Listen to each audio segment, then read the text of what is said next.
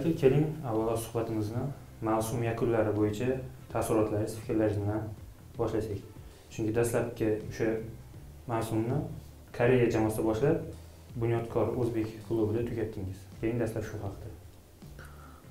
Taassurotlarim hmm, faqat o'zbekiston chempionatida shu uch oy o'ynagan bo'lsam ikki ming o'n uchinchi yil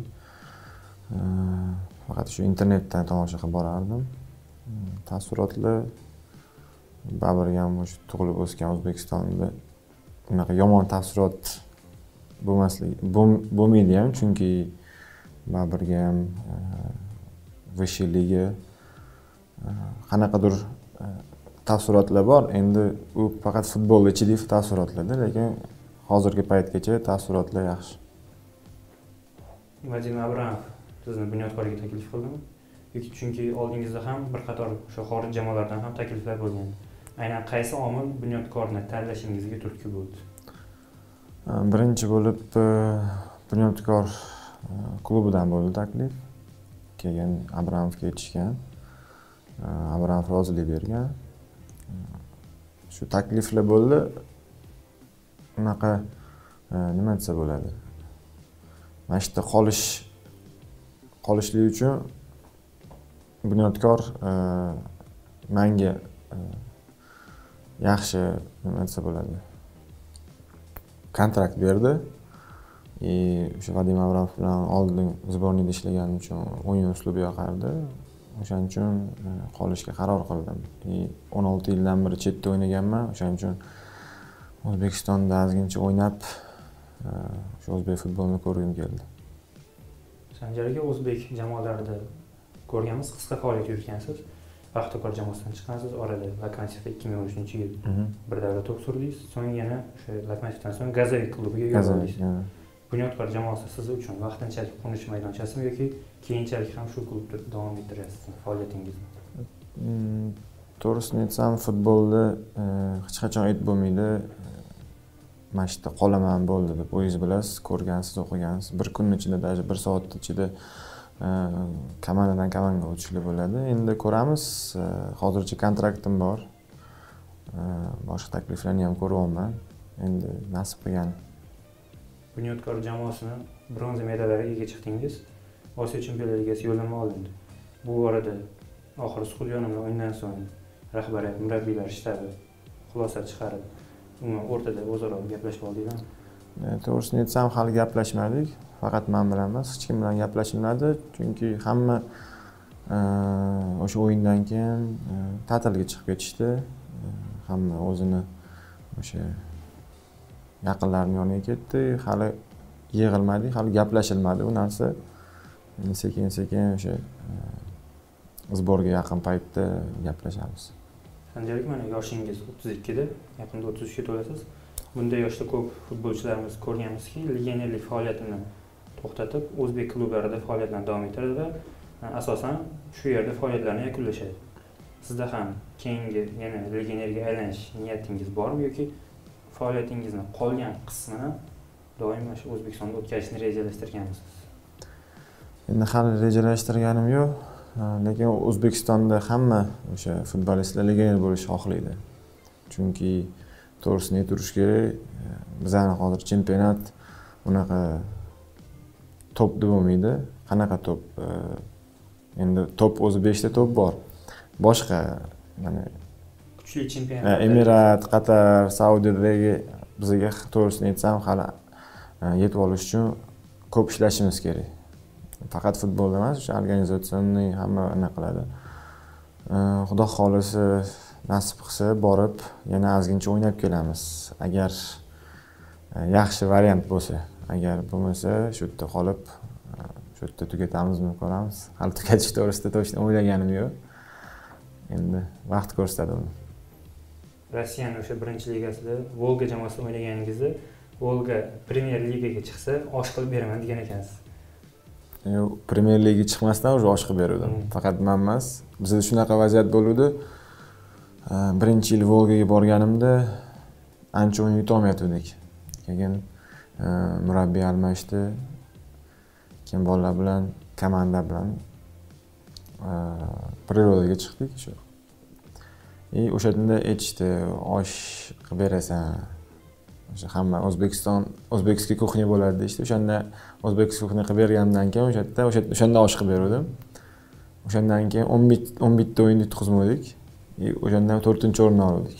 Undan keyingi yili высший liga premyer ligaga chiqdik demak bunda muvaffaqiyatda oshni ham balki bordir. Keyingi savolim vadim abramov bilamizki kuchlimi kuchsizmi yoki grandmi har qanday jamoaga qarshi o'z uslubini o'ziga yetirmaydi. Doim hujumkor o'yin taklif qiladi. Nima deb o'ylaysiz? Balki o'sha kuchli jamoalar grand jamoalarga qarshi biroz ehtiyotkorlikni o'ylash kerakmi yoki ehtiyotkorlikni birinchi planga olib chiqish kerakmi? Nima deb o'ylaysiz? Endi har doim o'zingizdan kuchli jamoa bilan o'ynasangiz man o'ylashim bo'yicha ko'plar sal ataburoni o'ynaydi. Siz siz aytib o'tgandek ehtiyotkorchilik bilan o'ynash kerak. Endi kallench taktikasiga kelsak kallench taktika ham и psixologически ham yaxshi tayyorlaydi. O'shaning uchun bolalar ko'rsangiz unaqa mandraj bo'lib o'ynamaydida. O'zini уверен bo'lib o'ynaydi. O'sha tomonlama o'sha grantlar bilan o'ynasa bo'ladi. Ukraina jamoasi ukraina mamlakatida ham ma'lum muddat faoliyat yuritdingiz. O'sha gazaviy klubidan so'ng varskla klubiga o'tdingiz. Umuman yevropa futbolidan baribir ukraina chempionati yevropa futboliga juda yaqin hisoblanadi. Aynan varskla miqyosida olib qaragan bo'lsak o'zbek klublaridan qaysi biri varskla darajasiga chiqa oladi yoki varskla darajasidagi jamoa hisoblanadi? Vorskla bilan tegish anaqa qilsayu tenglashtirsayu mana bizada hozir uchtalik mana paxtakor lokomotiv bunyodkor. O'shalarga tenglashsa bo'ladi. Endi baribir ham ukrainada juda boshqa futbol o'zbekistonga qaraganda ko'p преимуществолari bor. O'sha faqat ani futbolni futbolni ko'rib anaqa qilolmaymiz. Shu stadionlari polalari e, biz oxirgi safar o'ynagan polam andijonda o'ynadik. Andijonda hech qanaqa futbol ko'rsatib bo'lmaydida. O'sha andijon jamoasiga ham boshqa o'sha jamoaga agar yaxshi bo'laversangiz u ham yaxshi kundan kunga e, ko'tariladi уровень man o'ylashim bo'yicha bizani chempionat ukrainadan endi to'g'ri слабый e, o'sha vorstani o'rniga olib kelib bunyodkorni paxtakor lokomotiv qo'ysak jab o'sha darajada emas u lekin o'ynaydi. Endi qanaqadir tomonlama ozgincha qiynalishi mumkin o'ynasa bo'ladi. Ko'pgina ukrainalik murabbiylardan quyidagi iborasini eshitganmiz. Tartib intizom jamoada bo'lmasa hech qanday taktika va uslub ish bermaydi. Bunga ukrainadagi faoliyatingizda qay darajada guvoh bo'ldingiz? Tartib intizom va jismoniy holat ukraina bu narsaga juda yaxshi qarashadi. Aytishadiyu disiplina biot klass deyishadi. O'shaning uchun disiplina bo'lib o'sha disiplina bo'lgandan keyin o'sha taktika qilinsa ko'p mana o'ynaganmiz shaxtyor dinamolar bilan o'ynaganmiz yutganmiz. Faqat o'shandan yutganmiz. Disiplina taktika и samardachi bo'lganligi uchun o'sha rezultatlarga erishsa bo'ladi. Terma jamoamizni ortda qolgan o'yinlariga munosabatingiz? Terma jamoamizga munosabatim faqat yaxshi chunki yomon bo'lishi ham mumkin emas chunki bizani vatanimiz. Faqat o'sha anavi yutqizadi necha o'ynaydigan narsa yo'q faqat shu сборныйda o'ynamasa ham o'ynamasam ham shu balet qilib man o'ylashim bo'yicha keyingi qolgan o'yinlarda yutishimiz kerak yutamiz ham xudo xohlasa. Keyingi etapga chiqqandan keyin keyin u boshqa gap birinchi bu etapni o'tib olish kerak. Terma jamoamiz yaman singapur falastin kabi raqiblarni o'yinida to'liq ustunlik qilib yirik hisobda g'alaba qozona oladi. Nima deb o'ylaysiz? Bizning haqiqiy asl darajamiz saudiya arabistoni janubiy koreya avstraliya yaponiya kabi grandlar bilan o'yinda bilinadimi? To'ppa to'g'ri. O'shanda bilinadi bizani уровень chunki chunki biz saudiya yoki singapur yoki yamanni yutib o'zimizni aldamasligimiz kerak yo'q unaqa hozir aytdim bu etapni o'tgandan keyingi etapda ko'p anaqa qilamiz o'sha. Keyingi bizga eng важныйsi keyingi etap. O'shalarni уровеньda agar yaxshi o'ynasak futbolimiz e, yaxshi deb aytsa bo'ladi. Chunki o'zingiz bilasiz singapur yemen yemen Э, o'zini uyida trenovka qilmaydi singapur endi boshladi. O'shaning uchun biza bu raqiblardan bir kalla kuchli bo'lishimiz kerak. Uzoq muddatdan so'ng o'zbekiston chempionatiga qaytdingiz va o'sha bunyodkor jamoasi bilan shartnoma imzoladingiz. Sizningcha o'sha ikki ming o'n uchinchi yil lokomotiv oxirida o'ynadingiz? Sizningcha o'sha davrga qaraganda hozirgi kunda terma jamoamiz va o'zbek futboli va chempionatimiz darajasi. Avvalgiga qaraganda qanday? Tushganmi yoki? To'g'risini aytsam shundoq turibdi desa ham bo'ladi. Chunki balki orada ozgincha ko'tarilgandir balki tushgandir lekin man hech qanaqa katta o'zgarish ko'rganim yo'q. Ehm, ehm, futbolni nima desa bo'ladi? Faqat aytib o'tganimdek ko'rib оценить qilish kerak emasda uni ichidan bilish kerak. O'shaning uchun bizga hali ehm, juda ko'p ko'p ishlash kerak. Mana hozir e, kosti o'zgardi. Man o'ylashim bo'yicha e, u odamlar ko'p narsani bilishadi. Futbolda.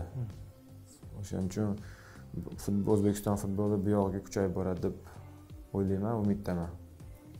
Mana siz tajribali futbolchisiz. Avvalgi o'ynagan jamoalaringizda ham o'sha ko'p legionerlarga ega yuqori tajribali futbolchilar bilan yelkama yelka to'p surdingiz. Bunyodkorda esa aksincha E, tarkibni asosini negizini yoshlar tashkil qiladi.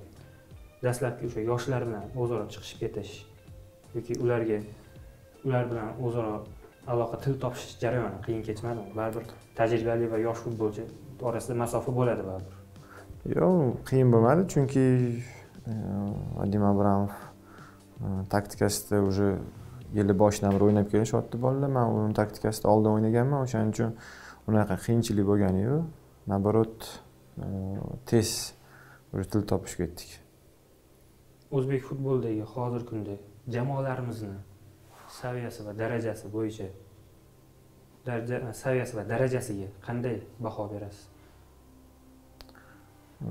Keyingi yil milliy chempionatimizda faqat paxtakor yoki bunyodkor emas qolgan jamoalar ham baravar chempionlik yuqori o'rinlar uchun kurashishga qodirmi? Nima deb o'ylaysiz endi har doim konkurensiya bo'lsa o'shanda sifat ham yaxshi bo'ladi.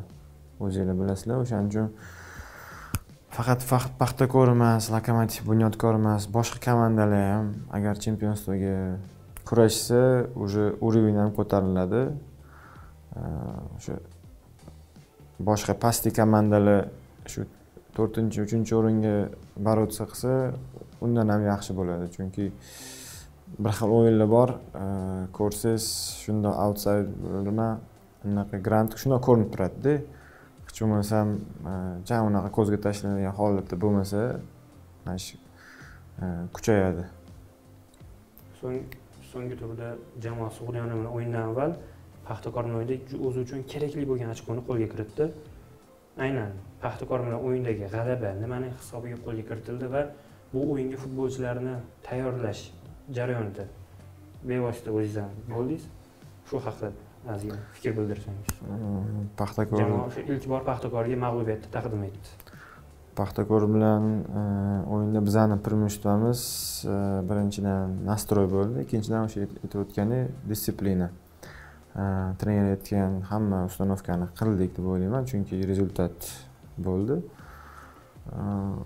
Bizda уже oxirgi uchta o'yinda перерывdan keyin сборныйdan keyin уже orqaga yo'l yo'q edi faqat yutish kerak edi shuncha bolalar mana yarim yil kech keldim mana shu bir yil hamma harakat qilindi oxirida bitta o'yinni yutmasdan pastga tushib ketish juda qiyin o'shaning uchun e, o'sha paxtakor navbahor jizzax o'yiniga juda qattiq nastroy qildik o'sha faqat e, trenerskiy shtab emas mana shu bolalar ham bir birimiz bilan o'sha gaplashib bir birimizga поддержка e, berib mana shu rezultatga erishdik. Mana yaqinda shu fors ko'rfazi kubogi o'z nihoyasiga yetdi. Bahrayn sensatsiya qilib saudiya arabistonni yutdi. Nima deb o'ylaysiz? Hozirgi kundagi osiyoda avval kuchsizlangan jamoalar bahrayn yoki o'zbekiston yoki suriya jamoalari kuchayib bormoqdami yoki grant jamoalarda avlodlar almashinuvi hisobiga shunday holat yuzaga kelgan man o'ylashim bo'yicha hozir e, hamma futbol o'ynashni biladi. O'zingiz ko'ryapsiz e, eron ham o'sha yutqizdi endi ozgincha e, omad va taktический yaxshi o'ynalsa hamma bilan o'ynasa bo'ladi. O'shaning uchun bular ham yaxshi nastroy qilib o'sha bahrayn ham boshqa e, komandalar ham nastroy qilib bitta ikkita o'yinni yutib olish yutyapti o'shaning uchun e, har doim chiqayotganda u kuchli raqibmi kuchsizmi farqi yo'q. Faqat o'sha chiqib nastroy qilish kerak chunki hamma narsa o'sha nastroyga bog'liq. Keyin bu yoqda o'sha ikki ming o'n birinchi yilgi osiyo kubogini yodga olsak avstraliya bilan o'yinda jamoa mag'lubiyatida taktik xato yuzaga kelganmi yoki tayyorgarlik jarayonida muammolar yuzaga kelgan yoki tarkib bilan bog'liq. Yo'q tarkib tayyorgarlik bo'yicha taktik bo'yicha hech qanaqa muammo yo'q edi. O'shanda boshida qo'yib yuboruvdik golni. Endi qo'yib yuborgandan keyin отыгрывать qilish kerak o'shaning uchun. Biza sal e, nima desa bo'ladi taktikadan chetga chiqib e, harakat qilishni boshladik. O'yladik bo'ldi deb bunaqa qilish kerak integratsiya qilish kerak deb o'shaning uchun e, bu birinchisi. Ikkinchisi bilasiz o'zingiz anavi bir xil o'yinda tepsa shtanga kirmaydi. Bir xil o'yinda oyoqqa tepsangiz ham buyoqqa gol kirib ketadi. O'shanaqa ularda shunaqa bo'ldi tepgani shu kirib ketdi. O'shaning uchun bu yerda ko'p nyuanslar bor.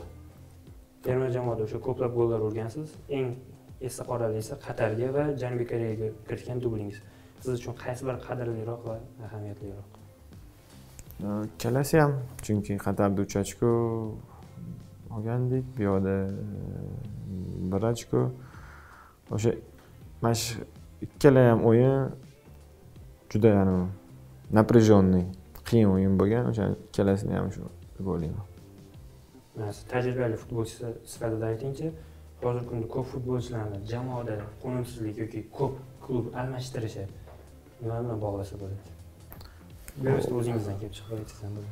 Uni aytsam to'g'risini aytsam e, birinchidan bu finansoviy e, chunki bir xil komandalarda bu futbol anaqasida emas yomon o'ynaydi yaxshi o'ynaydi. Bir xil o'sha komandalarni ko'rsangiz o'sha futbolchilarga mana shu bizani sizlarda ham o'sha jurnalistlar anaqalarga qaraysizlarku mana biz ham man ham qarab rahm keladi.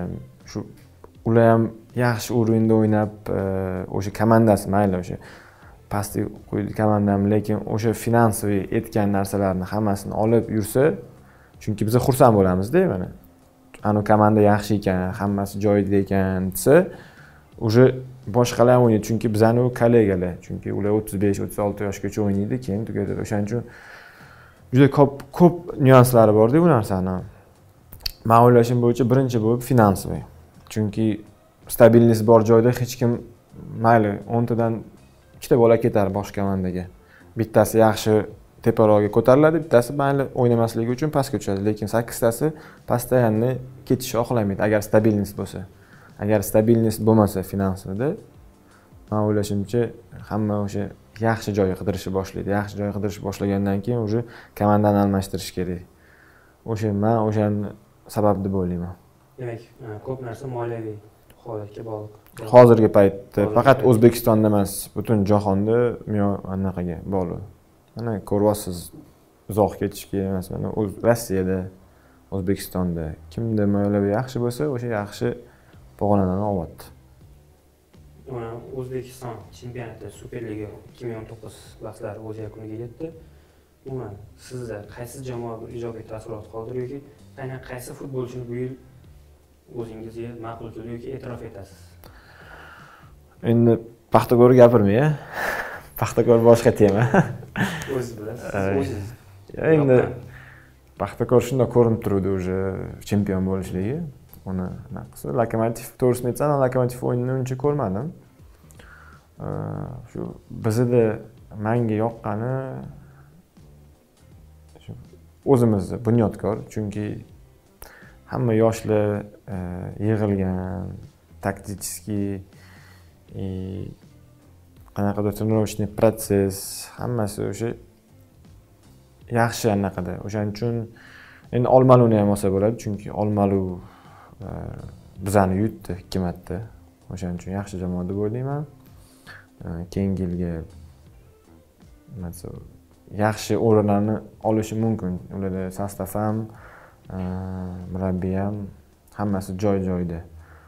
Bu yil balki o'sha ozgincha taktik bo'yicha murabbiy o'yinchilarga yetkazolmagandir lekin sekin sekin anavi komanda bir ko'p birga o'ynasa уже yaxshi o'ynashni boshlaydiyu shu olmaliq ham yaxshi. Sanjar aka siz qaysi ma'noda yosh futbolchi sifatida juda yosh legionerga aylangansiz o'sha adashmasam ilk klubingiz irtish mhm. o'n to'qqiz qirq mhm. hozirgi kunda ham mana o'zbekistondagi ko'plab yosh futbolchilarimizga yevropa xorij jamoalaridan takliflar bo'lmoqda. Legionerga aylanishni yoshga bog'lasa bo'ladimi? Hozir man hamma o'sha bunyodkorlarga ham hamma yoshlarga aytaman. Puliga qaramalaring. Agar e, o'zbekistonda bir xil pul beradigan bo'lsa baribir ham ketish kerak. Chunki u yerda boshqa futbolda уже u yerda yaxshi o'ynasangiz boshqa komandalarga olishadi. Уже boshqa уровень boshqa hayot. Уже odamni ham o'sha yoshlikda boradimi o'sha qaysi yoshda borsa ham baribir dunyoqarashi o'zgaradi futbol futbolgada o'shaning uchun har doim aytaman shans bo'lsa сразу ketinglar. Ani boraman bormayman. Uyi sog'inaman unaqa narsa bo'lishga futbolist bo'lish uchun yaxshi futbolist bo'lish uchun nimadirdan отказ qilib qilish kerak. Hamma narsa anaqa bo'lmaydi o'shaning uchun har doim aytaman legioner bo'llaring legioner bo'llaring deb. Keyin уже sekin уже borib legioner bo'lgandan keyin уже hamma narsa avtomatически kelaveradi. Lekin ko'plab futbolchilarimiz legionerga aylanish maqsadida bizni chempionatimizdan darajasi yoki saviyasi past bo'lgan chempionatlarni talashmoqda. Deylik o'sha bangladesh yoki malayziya tailand yoki shu jamoalarni tanlashmoqda bu moliyaviy tomonini o'ylab qilyaptimi to'g'risini o'sishni istagan futbolchi yoki ko'plab kuchli jamoalarga o'tishni xohlash kerak nazarimda endi to'g'risini aytsam hozir malayziya ham bizani chempionatga yaqinlashib qoldi man hozir anavi nima desa bo'ladi moliyaviy aytmayapman o'zi shundoq hamda yaqinlashib qoldi o'sha ko'ryapman internetlarda o'sha baleshilar stadionlar endi endi bangladesh siz aytayotgan tailandlar mayli moliyaviylar u yerga yoshlar borish kerak emas. O'zini vaqti bo'ladi bu yoqqa borishi o'shanda borib kelsa bo'ladi lekin yoshlarga mani maslahatim u yoqqa borish kerak emas. Ozgincha chidab o'ynab keyin borish kerak. Bunyodkor jamoasidagi o'sha yosh futbolchi hammani xabari bor. Jasur jaloliddinovga benevento klubi qiziqish bildiryapti. Umuman bunga munosabat balki jasur jaloliddinovni ko'plar ko'p muxlislarimiz ikkinchi ilyos zaytullayevga qiyoslayotganlar ham topilyapti endi man jasurga aytdim e, borgin o'sha yerda o'ynagin mayli ozgincha qiynalsang ham chunki uni o'yin uslubi yevropaga yaqinroqda agar uni hozir olib rossiyaga yuborsangiz e, даже dublda o'ynashi ham qiyinroq bo'ladi chunki u yerda silovoy e, o'shaning uchun man xohlayman shu u yerda qolib o'ynab o'sha yerda yaxshi bo'lib ketishini xohlayman. Muxlislariga umuman muxlislaringizga jamoa futbol jamoatchiligiga tilaklaringiz? Tilaklarim futbolni futbolga har doim o'zbekiston futboliga har doim bizga kuch quvvat berib turishsa mana shu milliy terma jamoa faqat milliy terma jamoa emas shu Э, o'zbekiston chempionatida. Stadionlar to'g'risida biz xursand bo'lamiz. Endi tushunaman e, hozirda unaqa e, stadion to'ldiradigan chempionatda bir xil o'yinlar bo'lmayapti. Endi baribir ham ozgincha chidash kerak. Mana qatar e, to'g'risini aytsam qatarda o'ynaganman. O'tga berilgan finanslar agar bizani futbolistlarga berilsa biz ham xuddi o'sha darajada o'ynaymiz. Endi man o'sha ko'zim bilan ko'rganman. Qatarni o'shaning uchun e, mani anaqam niyatim o'sha hech bo'lmasa mana shu qatardagi bo'lib osiyo chempionatini yutish. Bunda faqat biza futbol faqat e, shu muxlislar uchun o'ynaymiz. Bizaga полный stadion bo'lsa biza xursand bo'lamiz. Charchovlar ham ko'rinmaydi. O'shaning uchun har doim stadionga kelib bizani qo'llab quvvatlashsin